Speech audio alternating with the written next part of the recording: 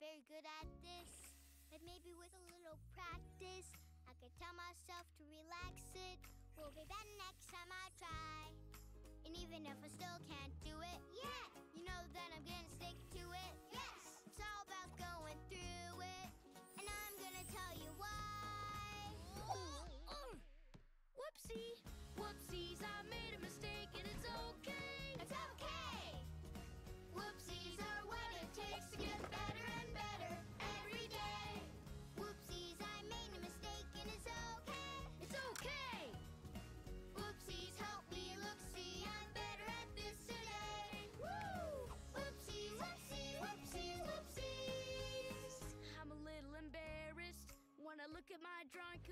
to this. I'm just not getting anywhere with this. It makes me wanna hide.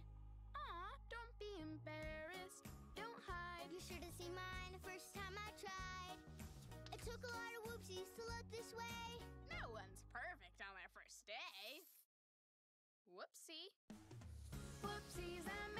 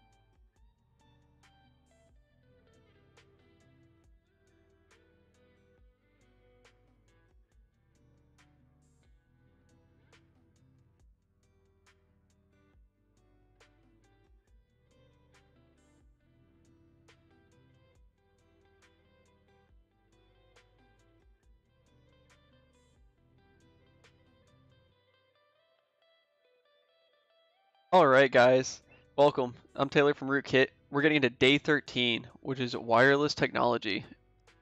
So, first of all, I want to thank you guys all for coming out. Uh, today will be my final day this week teaching for you guys, and Elijah's going to pick up again starting tomorrow and covering networking and protocols. So, I just want to talk a little bit about our intro song. I'm sure a lot of people have questioned it. Why are we using the song Whoopsie, which is a kids' little TV show, and why we have it at the start of our stream. So the entire song is actually brilliant because it encourages failure as long as you learn from it. And that's one of the biggest gates to fields like programming and computer science. People reach failure, especially early on, and they give up. It seems insurmountable. They write their first program and it doesn't compile. Or even the expert writes their you know, their first program in a new language and they just can't get it to compile or just, it doesn't make sense. It's a new syntax. Failure is okay. You're going to hit failure. None of us are perfect. A part of learning a new technology or a new skill set is failing. We got to lean forward when you fail and you got to learn from it. So that's why I really do enjoy that intro, even though I did think it was stupid when Elijah first brought it to me that we're going to use it whoopsie as our intro. Alright, so first we'll go over our calendar here.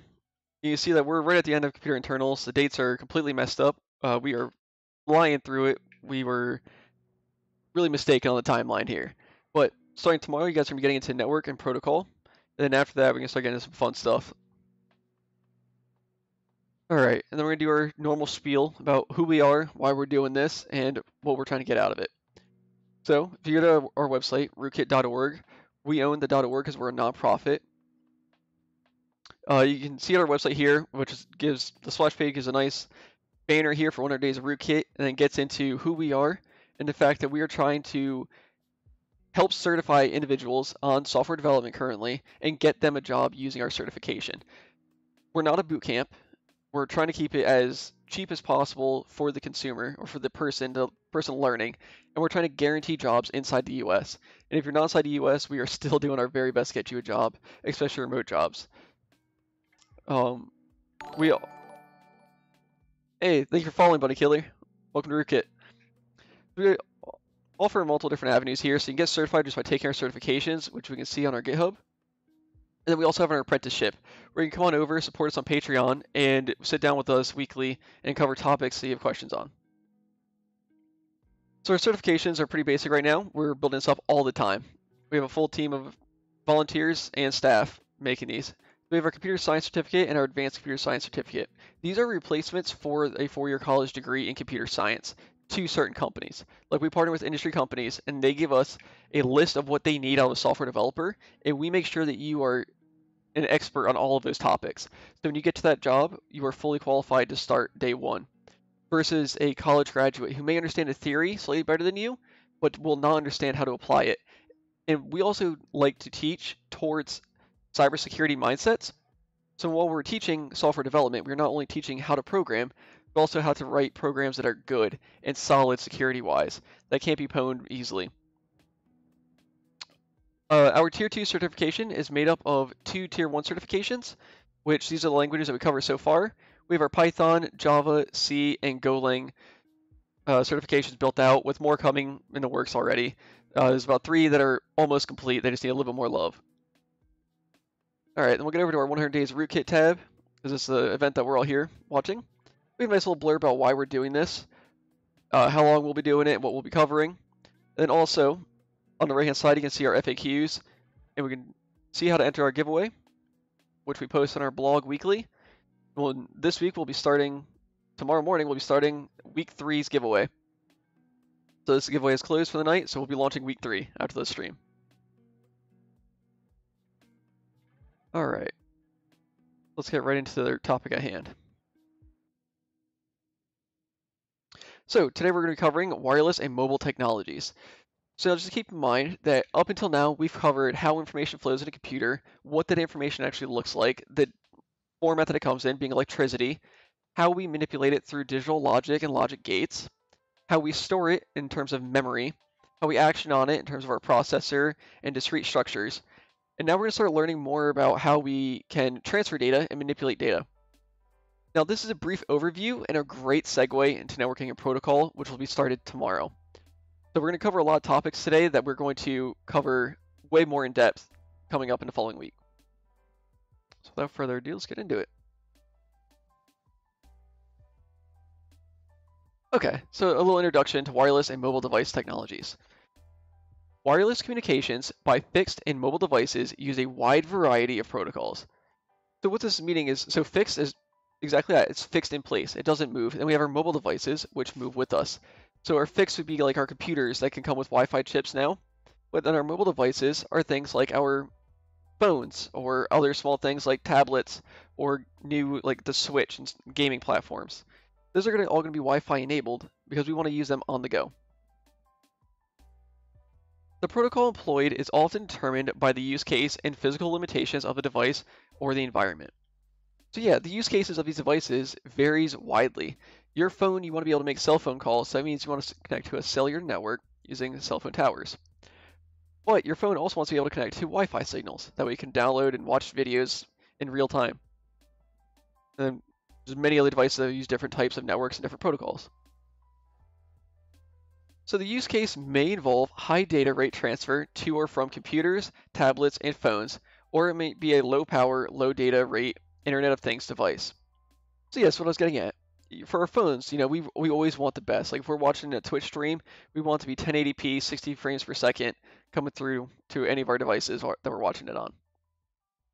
What a refrigerator, we don't want it consuming a ton of power and, you know, doing a lot of things on the internet. So we go for a low power bandwidth and protocol for it to communicate, get updates, and check its status, and do anything that an IoT device needs to do, such as your fridge or your toaster, or your thermostat.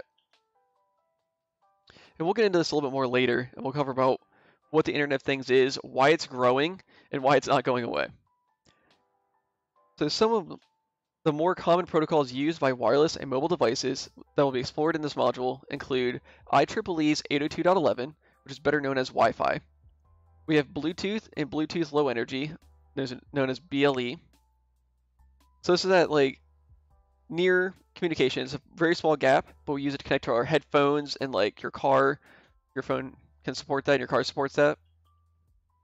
Then we have near field communication, or NFC, which we've seen uh, an adoption rise recently, where you can tap your phone at the cash register and use it to pay that's using NFC or near field communication. That's a very small distance that that information travels. And then radio frequency identification or RFID, which is a similar concept to NFC. RFIDs are things that like you use uh, for fobs to like get into a gated community or to like when you're at the hotel when you put that card in the door and it opens up that's using RFID. And then quick response codes, which is these QR codes that we've been seeing a lot recently in ads you know, it says scan for more information.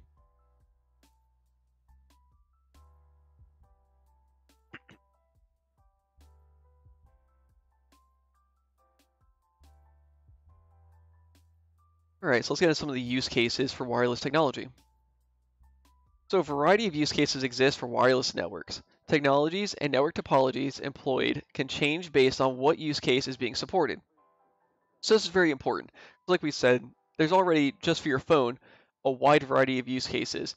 Maybe using it in a remote area where you really just need that emergency bandwidth and you're not caring about Wi-Fi. Or you might be in a densely populated like rural area where you want your Wi-Fi being up all the time or you need that high data bandwidth. So there's a lot of different scenarios that come into play when designing these networks and these protocols. So this change can be seen in the different types of wireless networks being used in modern communications. So now we can take a look at the different types of networks that exist. So our first one is Wireless Body Area Network, or WBAN, which is also referred to as a Body Sensor Network. It's a wireless body area network, WBAN, is the smallest area of coverage. As the name implies, these networks include devices within the human body. Example as implants. Like if you have a heart implant that requires your phone to be able to set the tempo automatically, or it can send statistics to your phone so your doctor can easily read it from it when you go in. And there's many other devices, such as wearable electronics, such as the iWatch, the Apple Watch, or Fitbits. They usually communicate to some other device, such as your phone or tablet, and they monitor movement, health, and well-being of an individual. A WBAN's coverage area is typically limited to one meter. Its purpose is just to cover the human body, and it shouldn't be readable by people to your left and to your right. You want to be relatively secure and relatively small footprint. So our next network type is a wireless personal area network, or a WPAN. The wireless personnel area network were developed to be to use Bluetooth technology to connect to devices without wires to an individual's workstation, making the workstation the center of the network. This is an interesting concept where you have your workstation acting as like a hub and all the devices connect to that using WPAN. Nowadays, WPAN support many types of use cases using a variety of protocols besides Bluetooth, RFID, and others. WPAN's main use point-to-point star or may use point-to-point, star, or small-scale mesh architectures, whose coverage area is typically limited to about 10 meters, or about an office room. So the purpose is that if you connect, you know, your Bluetooth headphones, because you have wireless headphones to your computer, you have a wireless mouse, a wireless keyboard, you're not tied necessarily to your desk. You can go walk to the back of the room and still be on your conference call and things like that. So we do see this used quite a lot. And it's really just a quality of life thing. We then have our wireless local area network, or LAN, WLAN, which we'll see LAN come up again, but without the wireless part in next week's module. So a WLAN, or wireless local area network, covers home and office spaces with data rates approaching wired connectivity. So this is your Wi-Fi, where you have your router in one room, and if you're in your kitchen away from wherever your router is, you still have access to YouTube and all your streaming services normally just fine unless you have a really big house or an old house with like lead paint or something like that. And with Wi-Fi 6 and I believe Wi-Fi 7 coming out soon, these rates of Wi-Fi is getting really competitive with Ethernet cable LAN speeds. So WLANs also provide the ability for devices to connect into the network via multiple points of access. IEEE 802.11, also known as Wi-Fi, is the most common protocol used in WLANs. WLANs can support operations at all three layers of the enterprise design model. So this is a model that we'll cover in the future as well, but let's go look up what it actually is. And it says it contains access, distribution, and core layers.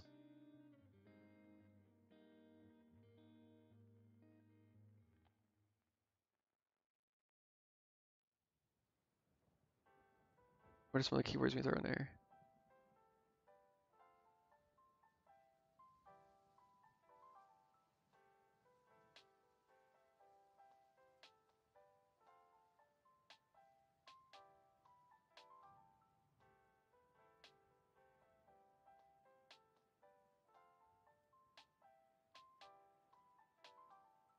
If we can find a nice pretty picture.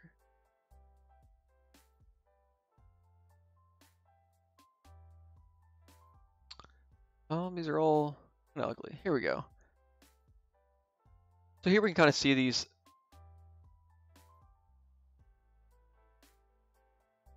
We can see these multiple layers that they have here. So theirs, they have like a five layer design it looks like here. So we have our level one, which are our controllers, our level zero, which are like these devices that are you know, hidden behind it. They're your services.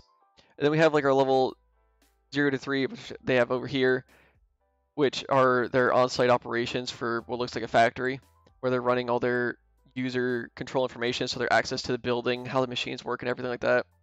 Then we see here that like level five is what goes out to the internet. So all of this could be wireless. As you see here, like this layer here is wireless. And so Wi-Fi really supports a lot of devices connecting and you know, scarce locations because they don't have to be connected via a whole cable. So WLAN's coverage area at the access layer is typically limited to about 100 meters, but can be extended well beyond this in the distribution or core layer implementation that cover a building or a campus. So yeah, so this access layer is what would be seen as one device, one router sitting there emitting a Wi-Fi signal and being able to connect to it. But then if you have a distribution layer or a core layer that connects many different Wi-Fi access points, you can build out that coverage area geographically by making multiple different access points. Hey Toothmax. Also, what you can do is Wi-Fi now supports range extenders, as they call them, or Wi-Fi extenders. And what you do is you place them when your signal starts to fade a little bit, and they're basically a repeater, where they listen for the signal and they emit it again you make it your footprint wider and wider and wider to cover all the ground that you need to efficiently. So our next type is wireless metropolitan area networks or a WMAN. So a WMAN provides coverage over a large larger area than WLANs, approximately the size of a city, the metropolitan word here is the key word. Due to prohibitive costs, these types of networks are typically provided and maintained by a service provider and access is leased out to consumers. So a WMAN is like how Comcast now does their roaming hotspots that they have throughout dense pop densely populated areas. So what they do is they sell you that monthly subscription that you use at home, and also they sell like a little package, or if your package covers it already, you can access those hotspots whenever you're out and about. So that would be a WMAN. IEEE 802.16 or WiMAX and private LTE networks and are popular technologies that support WMAN operations. WMANs are deployed in point-to-point and point-to-multipoint configurations. Individual links can be up to 30 miles in backhaul applications, but can also provide last-mile connectivity to the customer LAN. So yeah, so a WMAN can go straight to like an office building where they provide LAN support inside that building. But you can use a WMAN to connect all those office buildings up over different customers, and they can have 30 mile radius basically. So our next type is wireless wide area networks or a WWAN. We'll learn more about WANs in the future next week where we're talking about a LAN connected network over a vast distance. So WWANs are used to connect widely separated LANs. Traditionally, WANs employed wire technology, but wireless protocols can be used to build this backbone for the network, allowing LANs to connect to the backbone wirelessly.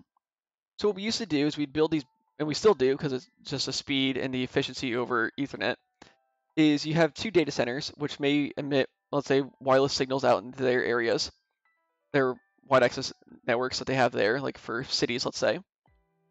But they still connect by a physical line because of that efficiency and that speed, that throughput that they're getting through that line.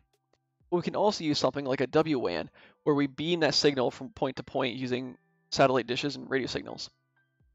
There's a lot of issues with this though, being as like the cost of electricity because you have to put a lot of power behind it to emit that signal versus it going over a line.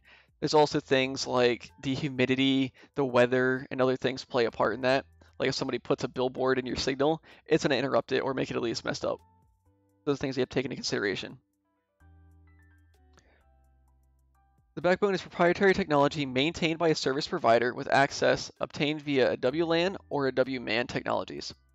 So yeah, that's what I was saying here, where you have this WAN, the WWAN, which supports multiple WLANs and WMAN technologies.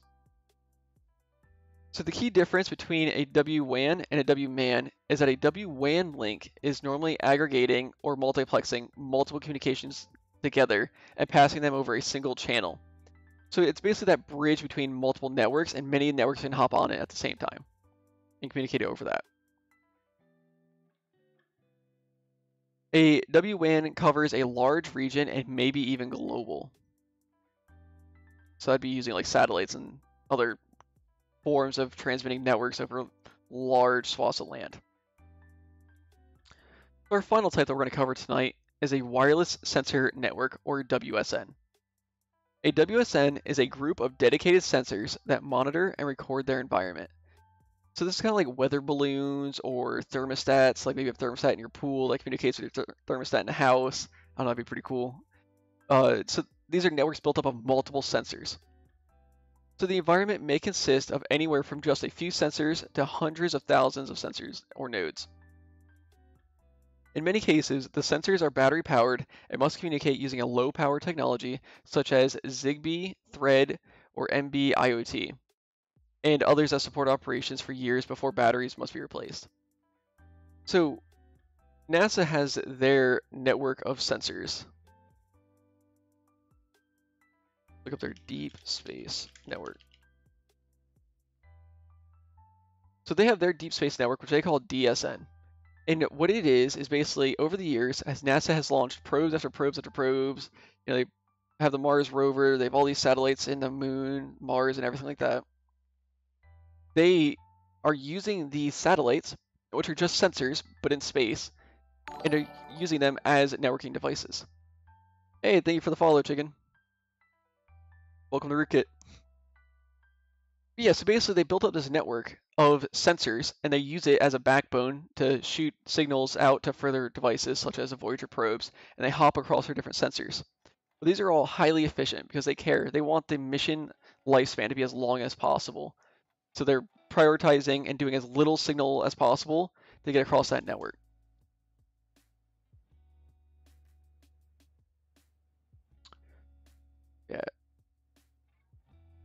So, due to the typical short range of these low power communications, these networks often operate in a mesh topology, passing along data from node to node until data reaches its intended destination. Exactly like the Deep Space Network. So, I mean, obviously these are very large swaths of distance between these satellites and stuff like that, but it's still relatively low power. And they're using it as a mesh network, so it hops from device to device to device until it gets to a ground station back on Earth.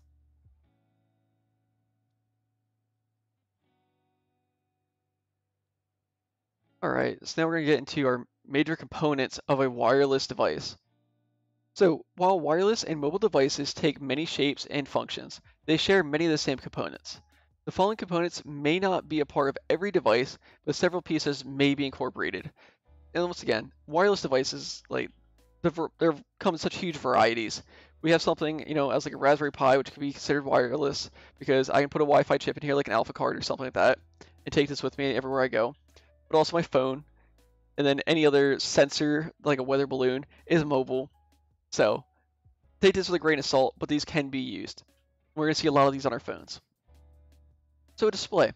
Most smartphone displays are either liquid crystal displays, LCD, or organic light emitting diodes, or OLED displays. On many mobile devices, this display also functions as the input device, touchscreens and I know we've seen a lot more different screens coming out, like the ones that repair themselves and everything like that that we see at these conventions every year, but we're just sticking to the basics to cover it. So most smartphones and mobile devices also contain a battery or some way of powering it. But smartphones normally use batteries made with lithium ion technology and may or may not be easily removed. So if we go look at like the Nokia flip phones, they normally have removable batteries, but something like an iPhone or an Android or Samsung phone, they don't want to mess with that battery so it's not easily removed. Most mobile devices contain something to store what they're recording on. So mobile devices like smartphones require memory storage like any other computing device. They require both RAM memory or our primary memory for processing and flash memory for storage, which are found on the device. So those are so we have our RAM memory, which are primary, is for doing processes and having those programs running in our memory. Then we also have our flash storage, which is like our hard drives and our SSDs, for maintaining that continuity over a period of time, our secondary storage. And somebody asked at the end of the stream yesterday, why is a hard drive not primary memory when it's like connected internally to the computer and it kind of meets some of the bills for primary memory? And the big thing that makes a hard drive or an SSD, an internal hard drive or SSD, not primary memory is the fact that they are non-volatile. So because hard drive's memory persists while having the power go out on that device, that makes them secondary memory. Because a key point of primary memory, like our RAM and our caches, is once that machine powers off, they get reset. So some devices may be able to access external memory like an SD card. Kind of like these Raspberry Pis, some phones, or some tablets they have. They have these SD cards you can take out, and you can just put it in, and this one gives 64 gigs of storage extra on this device which is the primary storage on Raspberry Pis. So some mobile devices contain a system on a chip, or a SoC, which we covered earlier this week. The SoC is more than just the device processor, because it houses many things, such as the CPU, the GPU, the display, the video processors, the cellular modems, and other hardware functionality required for the system. Because depending on the device, if you want to connect to Wi-Fi, then you need a Wi-Fi modem, so you can demodulate the internet. But if you want to connect to cellular networks, you need a cellular modem to take what is ever coming in as a cell signal and take it so it can demodulate it into what the uh, the computer or the phone itself understands. That's the point of a modem. They demodulate. Uh, and they just handle most hardware functionality required for the system. That's the whole point of being a system on a chip. It's a one-stop shop for that device. So next, most smartphones nowadays have multiple cameras besides some of the Nokias, but they most phones have front and rear facing cameras. And the camera is made up of the sensor, which is the actual like light capturing device, the lens, which allows for magnification and the clarity of that capture, and the image processor, the thing that takes that actual light and turns it into data.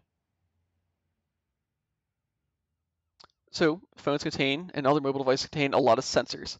So a smart device or sense service has many sensors in it to give it many types of functionality.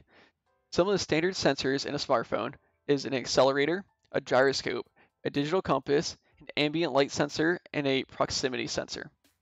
These are used for a lot of the things that we take for granted, like how your phone can count your steps or know exactly where you're at while you're navigating a city street.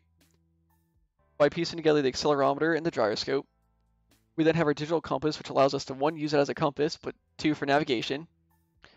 Then we have our ambient light sensor, which your phone just does natively now. You probably don't even know it. But like when the light goes gets dim in your room, like you turn the light off, your phone dims to not hurt your eyes as much. When you turn that light on, or you go outside, the phone brightness goes up so you can see it.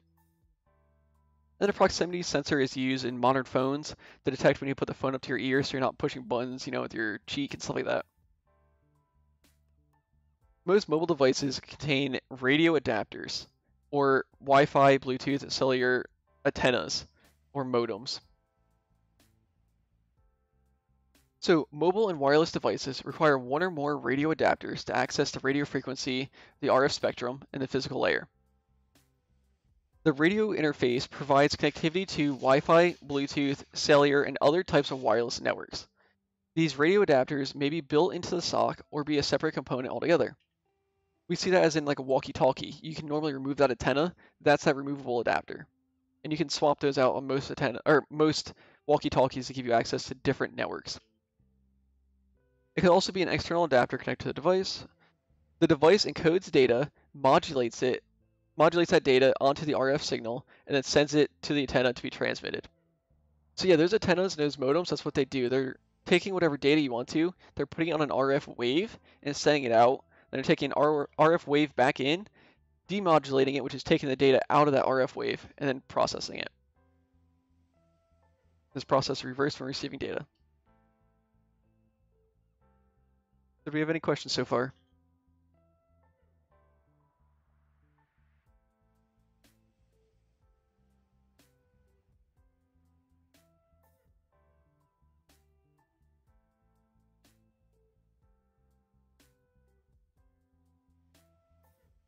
Alright, we're looking pretty good, so we're gonna keep moving on. We're nearing the end of this module. And at the end of this week, you guys will all be proficient eh, enough to take the computer internals exam and get that portion of our certification knocked out. Okay, so what is an antenna? So an antenna is a broad range, or okay, restart. A broad range of antennas exists to enable a variety of network configurations. Antennas also come in a variety of sizes and shapes to accommodate different form factor limitations. So we're going to be seeing this in the future, but like we said, our walkie-talkie has that one that protrudes out just like our car. Within our phones, they connect over cell signal and Wi-Fi, yet they don't have antennas sticking out of them. So how do they have antennas in them? And we'll see that here in the near future. So when a wireless device has an external antenna connection, the stock antenna can be replaced with a better one suited for that task. Every laptop sold today comes with an internal antenna that is typically located behind the monitor. This internal antenna only provides a small amount of signal gain. So this is how they get Wi-Fi. They have this wireless adapter sitting inside the back of the screen, just waiting and collecting that signal. But it's not great because it's integrated and it's spread out across like the case. So an external antenna that can provide much better signal for transmission and reception can often be connected via USB port. Let's take a look at some of these. Yeah. These are pretty cool ones. So Alfa cards are exactly that. It is a pretty good brand. So what it does is you connect it to your computer and it serves Wi-Fi for you. They connect through multiple different types of connectors like USB or USB-C or just whatever you need. You can make an adapter. But then you also have some here that are integrated into the motherboard. Which we can see here, you just plug it in and these provide much better signal capturing ability.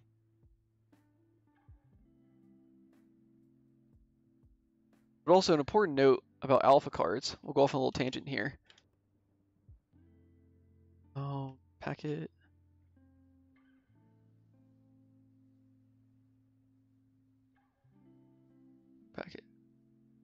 So, in order to do packet capturing or listening on a Wi-Fi network to capture other people's data going over it, you need a wireless card that can do anonymous listening.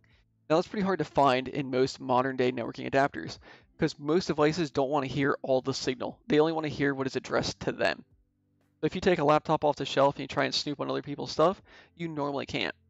So something like an Alfa card, depending on which one, you have to do a little bit of research, but definitely the older ones, they allow for anonymous packet capturing, which allows you to capture all of the data going over a network. Even if it's encrypted, you can see it. But if it's encrypted, you can't see the actual underlying data, you'll see the encrypted data. So this is super cool if you're getting into things like red teaming or blue teaming, and you're trying to look at your internal networks and see what's going on.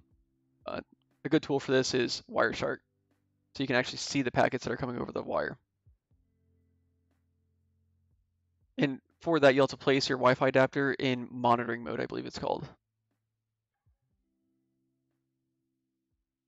So, antenna radiation patterns can be categorized into three broad categories. An omnidirectional, a semi-directional, and a highly directional antenna. Those can be important. It's going to come back up later, especially in our check on knowledge. But these are kind of vague words, and so it's easy to have misconceptions about like a semi-directional or highly directional and what they mean. We're going to get into these categories. So the categories are based on the antenna's radiation pattern, so basically how they emit signals and how they can receive signals. A radiation pattern describes the direction that the radio wave energy is transmitted and received. Antennas provide passive gain by focusing radio wave energy into a certain direction. The more focused the radiation pattern, the greater the signal power within the radiation pattern. This means that the more directional an antenna is, the stronger that signal will be, but the less signal it's going to capture. So if it's doing a 360, it's going to have a lot of data, but it's all going to be weak. Versus one that has like a 1% gain, you're going to get a really strong signal. So in order to help with that issue, amplifiers can provide active active signal gain by adding extra energy into the communication path. Wireless devices benefit from both passive and active gain in both transmitting and receiving signals. So what this is saying is let's say that we have a network set up of different antennas. They could have amplifiers on them, so they receive the signal, they see it's getting a little weak, they amplify it back up to its original value and send it out. This will allow it to travel further distances and stay clear. Because as these things start to fade, that data starts to fade the device that's receiving it might not be able to tell the difference between a peak or a valley on a radio wave. Let's do a quick tangent and look at what a radio wave looks like.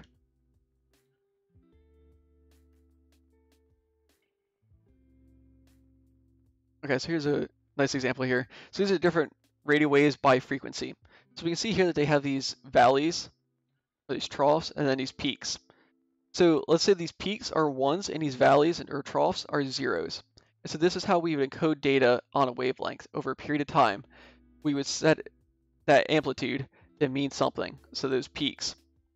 And so as this gets weaker, it starts to span out as we get over to the side of the spectrum, and data gets lost. So that's what those amplifiers do is they re-energize it back up to over here. That's an extremely oversimplified version. We can get more into RF theory at a later time. So now let's look at kind of what some of these look like. So here we have our whip or a monopole antenna. This is kind of like that USB that comes out the side, or if you have a fancy router that has like the six arms on it, these are what's coming out of that.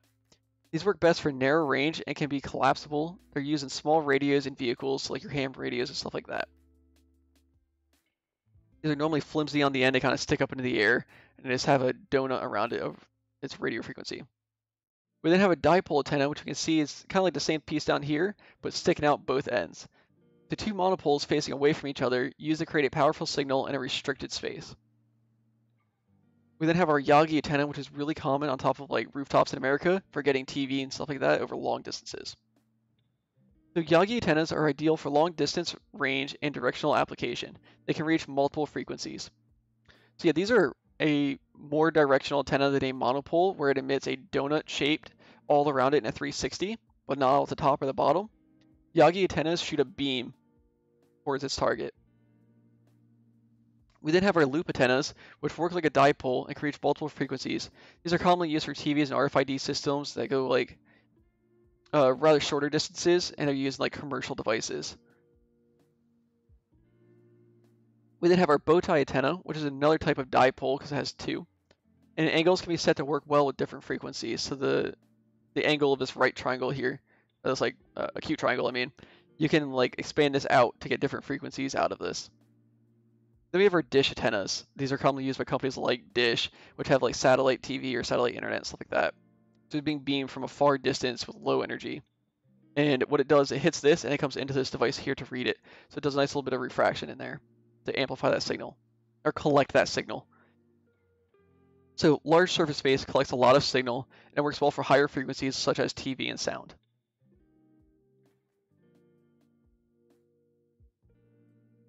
So our omnidirectional antennas, like our dipoles or our whip antennas, ones that just stick straight up, they emit this donut shape, but not on the top or the bottom. So if you want best signal out of this, you don't point a whip antenna where you're trying to read it from. You want to point the side of a whip antenna towards the device you're trying to read from. They propagate RF waves that are perpendicular to the antenna itself, so coming out the sides. A vertically oriented dipole antenna propagates energy in all horizontal directions, this donut shape. Some of the wave propagates upward, but this upward propagation increases for a distance and lessens, forming a radiation pattern in the shape of a donut, as illustrated below. Omnidirectional antennas are not very focused and provide only a small amount of signal gain. So yeah, so these are used for small areas, but you want the entire area to be covered, such as your house with Wi-Fi. So we have this router here with two of these omnidirectional antennas coming out, so the whole house will be covered. Then we go into our semi-directional antennas. So semi-directional antennas focus the radiation or the radiated energy in a beam with pattern less than 120 degrees. So if we look at 360 degrees as a circle, so it's one third of that. This focus provides for higher gain than omnidirectional antennas. Semi-directional antennas come in a variety of forms, such as a patch panel, sector, or Yagi antennas. So here we see some of these different ones. So three sector antennas, each covering 120 degrees, are often used on cell towers. Let's go look at a cell tower. So here we can see a bunch of patch panels emitting in every direction, basically. So that's how they're getting that 360 but they want the power and the range of having a patch panel. So they just point them in every direction. And whenever you need a new one for more customers, you just slap a new patch panel on here, and just pump more energy into it.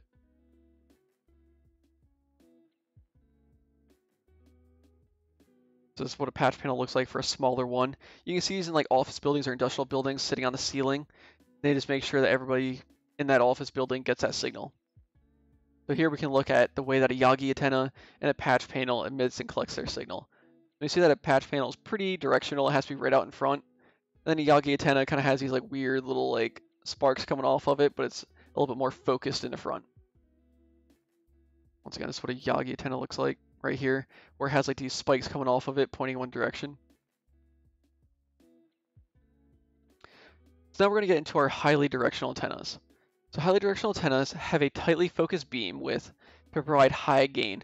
So these are good for long distances with a lot of energy. You have to put a lot of energy into it. So common form factors are the parabolic dish and grid antennas that are on our rooftops. These high gain antennas are used for like WAN links, such as a point-to-point -point and a point-to-multipoint links up to 30 miles. The two of these pointing at each other can cross a great deal. Like if you have a burn line set up,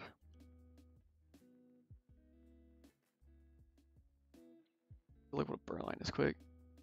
So I don't know about in other countries. I can only speak on behalf of America, but what they do is stuff like this, where they'll go into a forest and they'll burn a straight path through it, so that way if the, there's ever a forest fire, it stops here. It can't spread any further.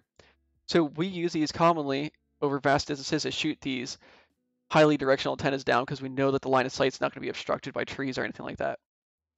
This is an excellent use case for highly directional antenna. they're used on weather stations and stuff like that as well, or like in, in like Antarctica, where you can have different buildings that are geographically located semi-close but a little bit far away to like run cables and stuff like that in a harsh environment. Okay, so now let's get back to that mobile devices that we were talking about. Like, how do they have antennas in our phones? How do those work? What type are they?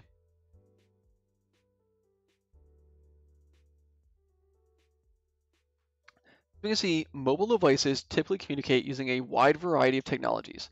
These technologies transmit and receive on a diverse range of frequency. Each frequency range requires a different antenna to support the most efficient or most effective operation possible. Therefore, mobile devices require multiple antennas designed to fit into a confined physical space. This once again talking about how a mobile device such as a phone, we want Wi-Fi, we want cell service, and even our cell service is broken up over across the different networks like 5G, 4G, 3G, LTE, stuff like that. To be able to do all those different functions, but inside the form factor of a phone. So devices with a cellular capability typically have two or four antennas dedicated to cellular communication. These antennas come in two different two categories, primary and diversity. A primary cellular antenna is obviously the primary antenna for communications within a cellular network in a transmit and receive capacity. So yes, so this is our main antenna for talking to cell towers, for getting our voice out and receiving voice in. There may be one or two primary antennas depending on how they want to do it and whether or not they break it up over multiple antennas to be able to have more than one phone call going on and how they handle the capability with that and it might be able to connect to two different networks such as 5G and LTE in case one fails over, you can rotate or switch between two different cell towers. So because of the wide range of frequency ranges used by a cellular technology, the primary antenna is often nearly the size of the whole device for best performance. We see here that it wraps like the whole way around the phone, wrapping around to the two corners for our primary here. And this covers GSM or our cell phone. We do a quick look up on what is GSM.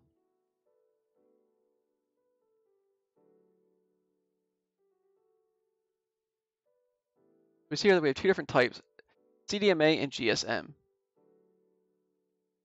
So CDMA is Code Division Multiple Access, and GSM is Global System for Mobiles. So basically what these are for is they are two different ways of implementing how cell phones should talk two different languages or like standards that should be used. A little too far. So we can see here that GSM and CDMA are shorthand for two older radio systems, also known as 2G and 3G used in cell phones.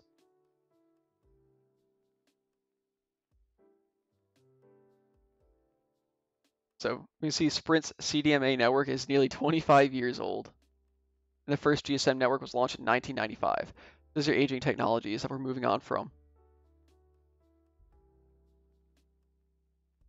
So the primary antenna is typically located at the top portion of the device because that's where we normally point, you know, up and beyond our head. It is possible to obstruct these highly directed beams. So yes, yeah, so.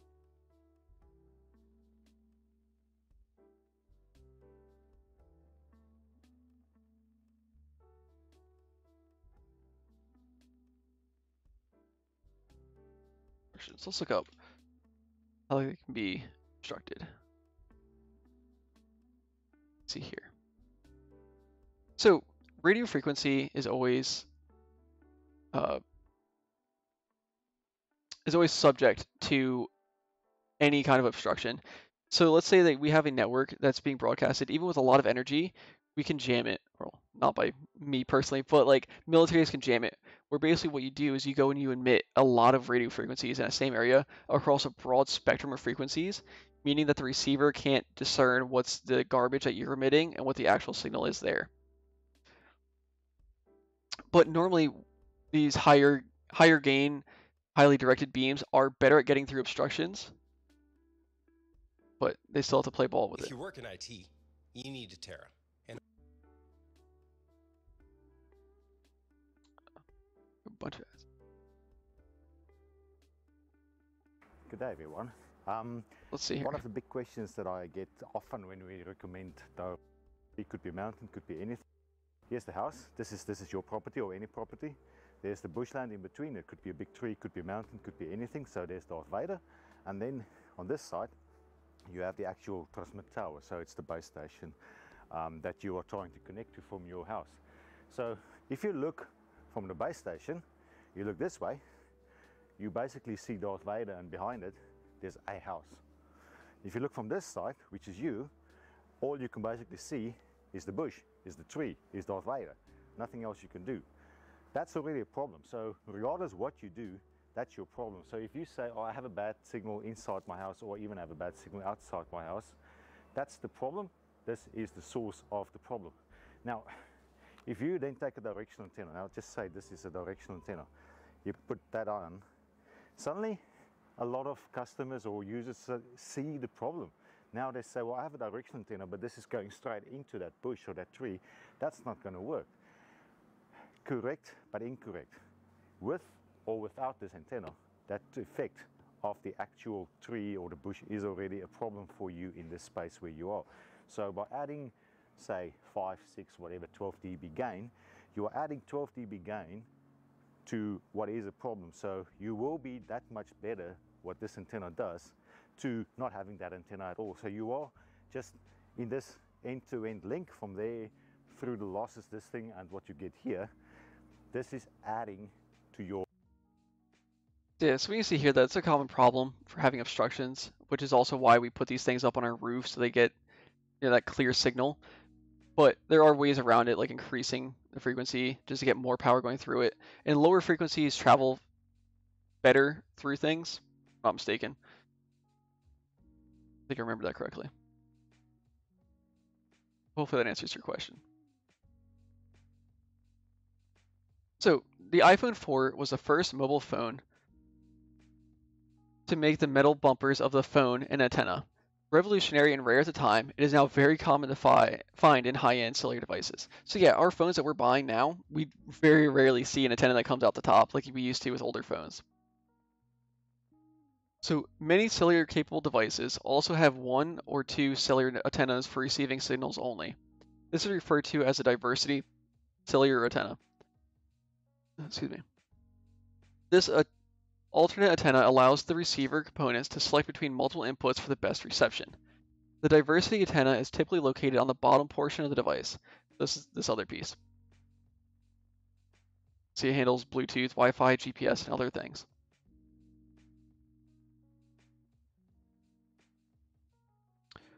So the Wi-Fi Bluetooth antenna. Most mobile devices support Wi-Fi communications and many support Wi-Fi operations in two frequency bands, 2.4 and 5G requiring they each require their own antenna that support the type of the band. Because Wi-Fi is the highest frequency used by the device, the antenna are the antennas are normally smaller. Bluetooth communications operate in the same frequency band as Wi-Fi and often share the same antenna. These antennas are typically located on the sides as high as possible. GPS antenna, modern smartphones, and many other mobile devices have receive-only global positioning systems, or GPS, antennas to support location services. This is how we use like Waze and Google Maps to like navigate around. Due to the high but narrow frequency range of GPS signals, this antenna can be much smaller physically than cellular antennas. They're also commonly found on the sides of the device. So NFC or RFID antennas, NFC communications do not really use an antenna as much as they use a magnetic inductor. An inductor is essentially a loop of wiring when electric current passes through the loop, it generates a magnetic field. The interaction of the magnetic field between two NFC devices is how they communicate and how data is transferred. The wiring loop is typically found within the device, usually on the back of the phone or over the battery. Here we can see like a modern smartphone, they just put it in there underneath where the back of the case goes, and that's how you can just tap your phone to pay. And we tap the back of the phone normally, but they most it works both ways for the most part on most modern day smartphones because they have enough energy going through it. NFC uses similar magnetic induction technology that can be found in wireless charging. All right, that concludes our final book for computer internals. So now we're going to start our check on knowledge. Before we get into the check on knowledge, anybody have any questions?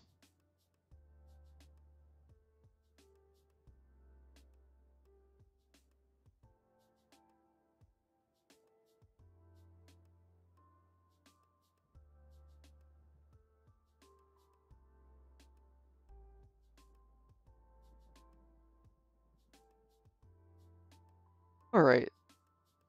We only have five questions for the night, so this should go pretty quickly and be pretty painless. So our first question is select every category type of radiation patterns that we cover tonight.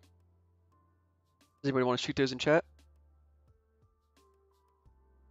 I'll be looking in our Discord in the 100 Days of Rootkit chat, as well as YouTube and Twitch. Although I do have to warn you, YouTube seems to be like a minute to two minutes behind Twitch for some reason.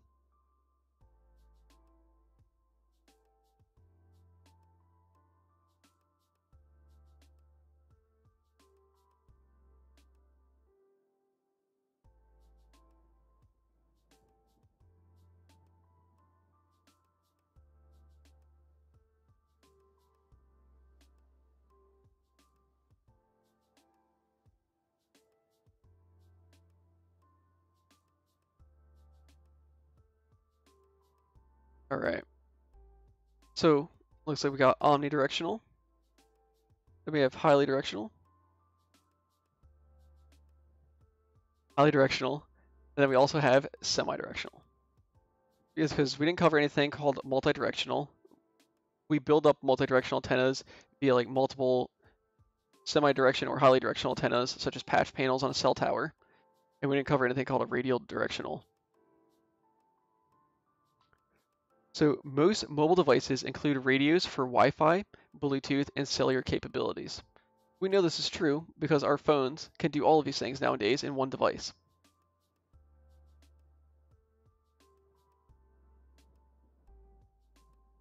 Select all the standard mobile sensors.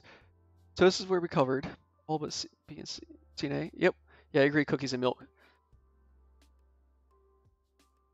So I'll give you guys some time on this one. So select all the standard mobile sensors that we covered today. So these are all the components that we find normally in a smartphone or a mobile device that we carry on us, such as our smartphones, smartwatches, things of that nature. Even to include cars nowadays.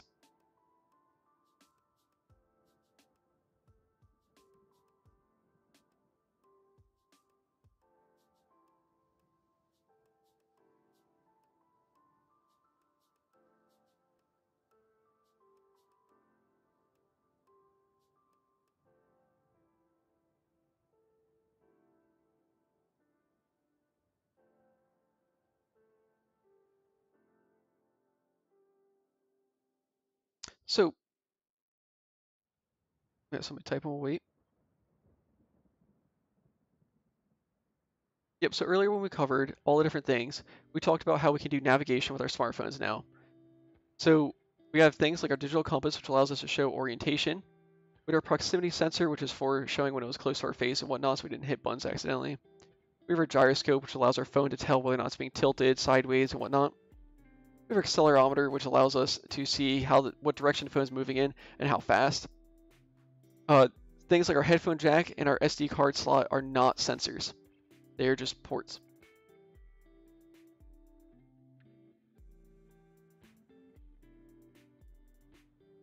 So which IEEE standard deals with wide LAN or wireless LAN communications, which was a, well, or Wi-Fi that we covered. So they're all 802 standards. Does anybody remember which one covers Wi-Fi? When you're doing things like pen testing on home networks or office buildings, you'll see this quite a lot come up. And when you're in Wireshark and you're looking at wireless communications, it'll identify itself as this IEEE standard because that's how we identify communications coming over a wire. Because technically, anybody that emits a signal can make up their own signal. They don't have to follow the standards. We just hope that they do so that they can be interpreted by our devices. Alright, so Cookies and Milk thinks it's C802.11, which is correct. It's one of the most popular used today.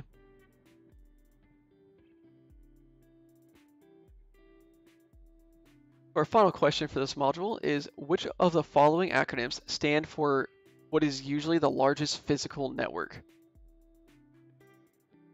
It's a mouthful to read.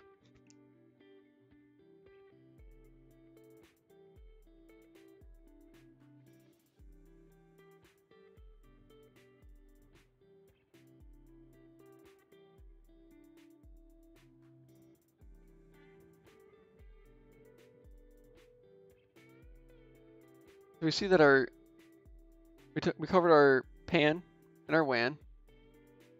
We then have our body one, which is a small area network. We have our metropolitan. We have our personal. We have our local area network. So our last one here is a wireless wide area network. Let's see how we did. Hey, we've got 100% our final module.